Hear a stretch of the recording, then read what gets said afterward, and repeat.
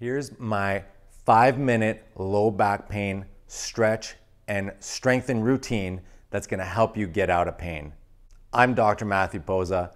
Welcome to the page. My page is dedicated to people and families so they can learn tips and tricks in order to live the life they were designed to live. So don't forget to like, subscribe, and share this information with the people we know need it the most. The rates of low back pain continue to rise, and it's no surprise when you think about what people are doing, lifestyles, sitting in chairs, or just simply lifting and doing things wrong. Our lifestyles are not necessarily conducive to having a good spine or supporting our spines in the best way possible. Before I show you my five minute routine, it's important to state that if you look at the low back, you want your spine to be nice and even. You want it to be straight, but from the side, we do need the curve in through the low back. We need the pelvis being at a certain angle. And when we sit all day, when we do things improperly, what happens is the spine goes out of alignment. So we lose that nice curve in the low back. And then what ends up happening is a lot of people will get either weak abs or they'll get issues in through the low back where the glutes become weaker and therefore the hamstrings become tighter, the low back becomes tighter. So we call this a lower cross syndrome. And one of the areas that we need to focus is in order to strengthen this is to not only put the curve back into the spine, so we wanna relax these joints because that is the normal position.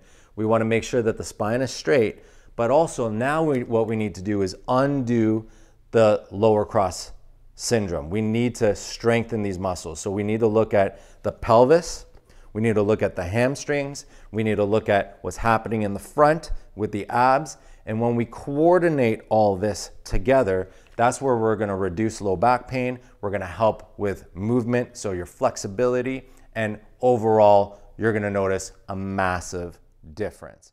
The first thing that we're gonna do is start with a child's pose. So the child's pose is a stretch um, it's gonna stretch out your low back. And really what we're trying to do is lengthen your low back. So we're working through the hips, but also we're getting into the low back. So I like to do these on the floor. You're simply going to put your knees about shoulder width apart and you're going to bring yourself down and now you're in your in the base position and then you're going to be bringing your torso down and splaying out your arms in front of you.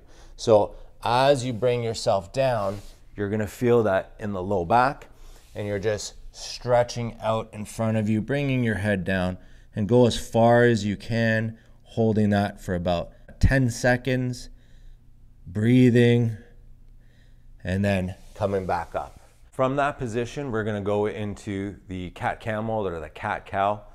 Doesn't matter which way you want to say it. And you're going to go on all fours.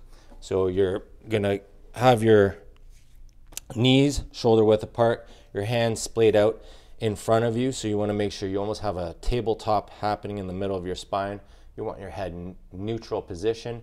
And then what you're going to do is you're going to tuck in your pelvis, rounding your back, bringing your chin towards your chest, holding that for a few seconds, and then the opposite. So you're going to be looking up, bringing your bum up and your middle of your back down in between your shoulder blades, holding for a few seconds, and then the opposite. Now, the key with this one is to only do seven to eight of these motions. You do not need more. The pattern, then, what we want to go into is the bird dog. So, this is a strengthening exercise. This will take some time and coordination to do.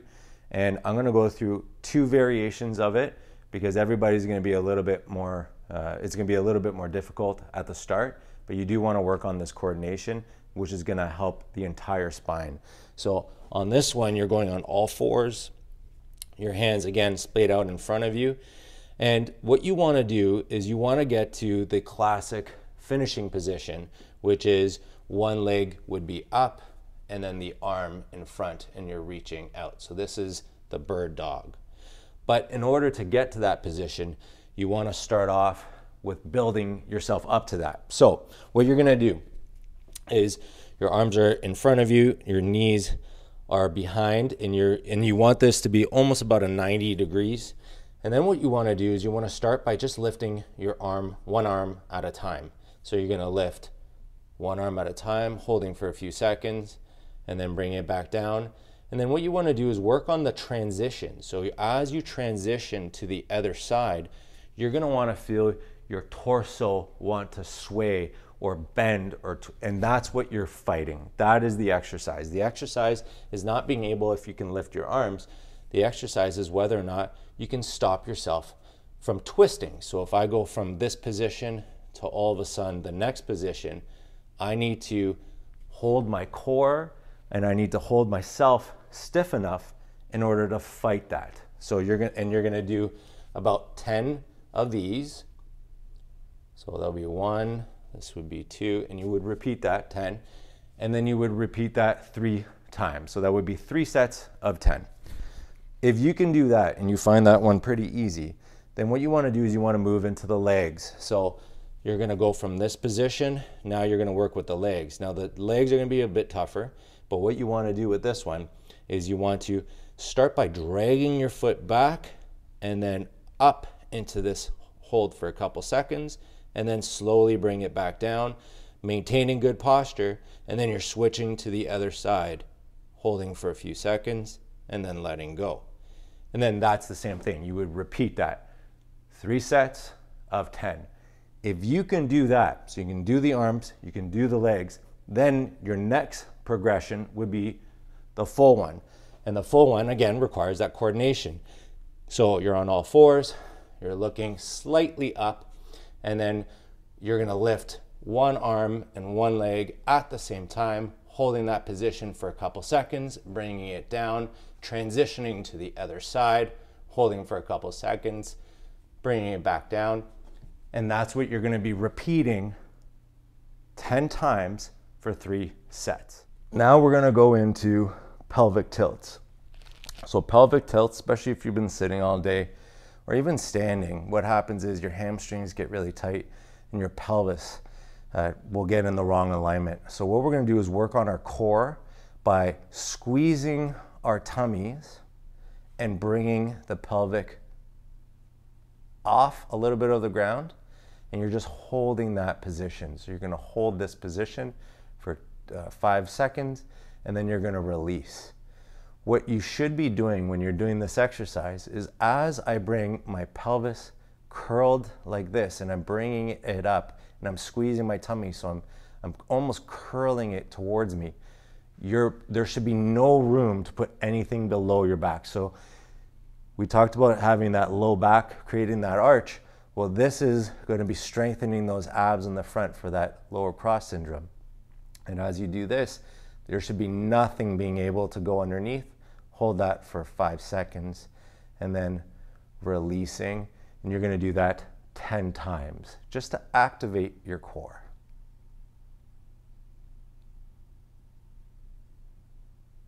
Last stretch is going to be the hamstring stretch. When the hamstrings are tight, they cause your pelvis to come in like this, and then you change the pressure from your glutes doing most of the work, which are holding you up, and now your hamstrings. And that will pull and that will create a lot of tension on your low back. So with this one, and there's lots of ways you can do a hamstring stretch, let's go with the simplest way. Simplest way would be to bring your leg up onto a chair or something a little bit elevated.